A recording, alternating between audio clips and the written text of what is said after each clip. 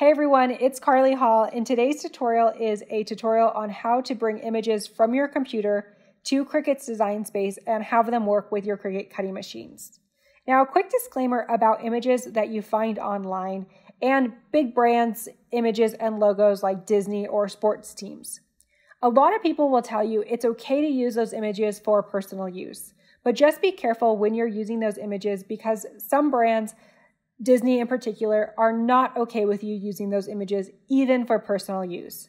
So just make sure to do your due diligence and check out the license on the image type, especially when you're buying images from Etsy and places like that, because oftentimes those sellers don't even have the rights to be selling those images. So be careful when you're using branded images. Your safest bet is always to purchase them from places like Cricut's Design Space because Cricut has a licensing agreement with those companies. All right, so now that that's out of the way, let's get started. For this tutorial, I will be using an image that you can find on my blog. When you go to my blog, you'll be able to download a scalable vector graphic, or as you probably see in Cricut groups, an SVG. SVGs are my favorite file type. And the reason that they are my favorite is because they are scalable, so you can resize them as big or as small as you want, and they will never get blurry or pixelated because they're not created with pixels. They also are created in layers. So if I have an SVG, for example, these are finger puppets. So there's several layers. There's a face and there's two layers for the body. So scalable vector graphics, SVGs, they maintain all those different layers when you bring them into design space. What often happens is that somebody will share an SVG like this into a Facebook group. And since Facebook doesn't support SVGs, Usually what's being shared is a JPEG or a PNG, a rastered image. A raster image is an image that's created of pixels. So when you zoom in, at some point it'll start getting pixelated. So it doesn't work the best with your cutting machine and it doesn't maintain all the layers. So now instead of having all of these as different layers, it's just one flat image. So I'm going to show you how to upload this file type and what you can do to make it back into a layered image. And then at the end, I'm going to show you what it looks like to upload an SVG so you can see the difference and why you should always look for those SVG files. So I'm just going to do one of the images for my tutorial. So I'm going to take a screenshot of my image. So often what you'll do online is you'll find an image and you'll grab a screen grab of it. Again, make sure that you're paying attention to those licensing rights so that you know what you're doing is okay. And then in Design Space, we are going to upload that image to Design Space. So I just clicked upload and then I'm going to grab that screenshot right here. I'm going to choose complex and then click continue. You can start by deleting the background. So the magic wand tool is my favorite. The little wand, we're just going to click on the background and you'll watch the background immediately disappear. That looks really good for our first layer. So I'm going to bring that in. We look like we have all the background deleted. And you can even click preview at the bottom to see what your cut, your cut type will look like. So that looks good. I'm going to click continue. It would be very tempting to save it as a print and cut image because it looks like it has all those layers. But what we actually want to do is save it as a cut image. I'm going to save it as a print and cut image so I can show you why you shouldn't do that. But as a reminder, if you want to cut this on different colored paper or vinyl or even iron on, you'll want to actually save it as a cut image. So we're going to save it as a print image. And then we're going to bring that in.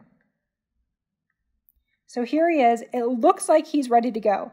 But if I click make it, so if you ever get to this page and you realize, oh no, I can't actually change any of these colors, it's because Cricut thinks that you want to use your home printer and actually print out the image and then cut it. So we're going to come back and we're going to cancel that.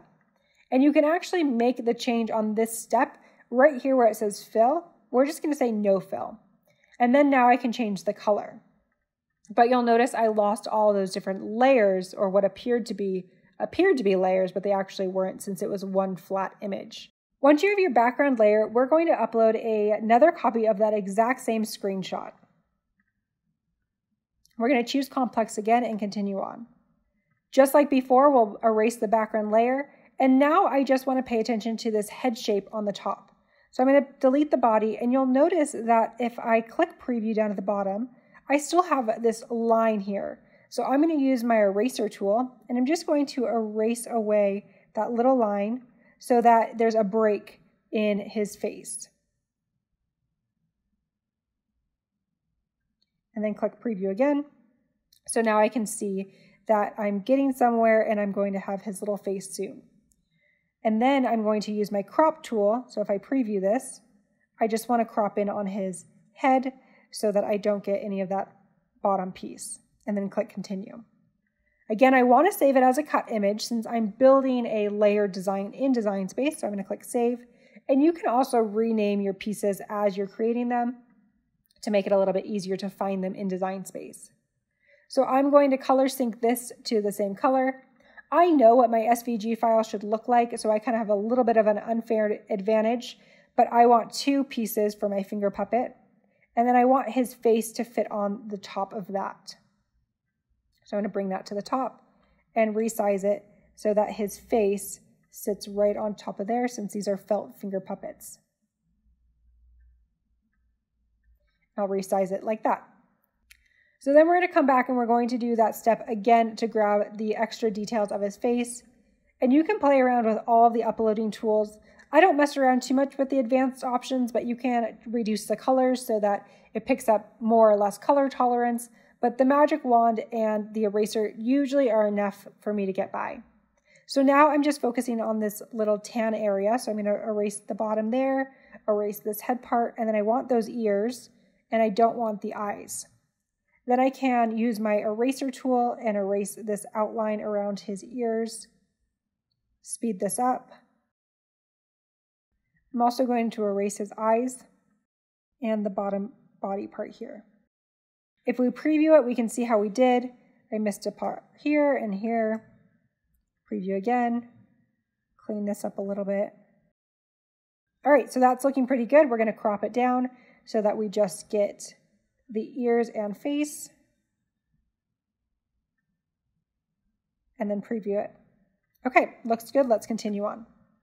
Save that as a cut and insert that onto our canvas. We'll resize this to fit our finger puppet and then change the color to a nice tan color. Okay, so that looks good. Now we have one last step for the eyes. Back again, upload the image, grab the same screenshot, complex, continue on. Now we just need the eyes, so I'm just going to erase basically everything except the eyes and the nose. And then we can use our eraser tool and erase around this area here. And we won't pay too much attention to the other stuff because we're just going to crop in super tight, make a little preview, and we're good to go. Save that as a cut and continue on. And then we'll bring that into our file and resize it. That is a very big finger puppet, so let's resize it so it's nice and little. I think my finger puppets are supposed to be like three inches tall. Okay, so now that's a more realistic size. So when we click make it, now our colors and layers will all spread out across the mats like they're supposed to. All right, so now that we know how difficult that process was to change all those layers, I'm just going to grab that SVG file and open it and bring it in. And it looks like they would be just flat images, but when I click save and then bring it into design space, you'll see that it comes in and all of the images, and this is why it's so important to find those SVGs, all of those images have all of the different layers. So let's ungroup these and just take a look at the fox since that's what we care about. Delete these out. And here is our fox. So you can see that all of that work that we did, it's already all done for us if we just grab the correct file from the beginning. We can resize it so they look even a little bit more similar. But there you go. That is why it's so important to grab the SVG from the beginning because it has all of the layers. Everything is perfectly lined up and ready to be cut with your Cricut machine. But I know it's not always the case that you can find that SVG file or you want to create your own image and it has all those different layers. So that's kind of the workaround to if you find a flat raster image and you want to bring it in and create all those different layers, You can, it just takes several steps. So hopefully that was helpful and answers a lot of your questions on why your image is showing showing that it's supposed to be printed when you want to cut it in all the different colors and then you can edit and change it to whatever color you want. You'll have to let me know if this tutorial was helpful and if you had any aha moments and if now it makes more sense as to why images are looking the way that they do and how to convert them to be kind of more of what you're looking for.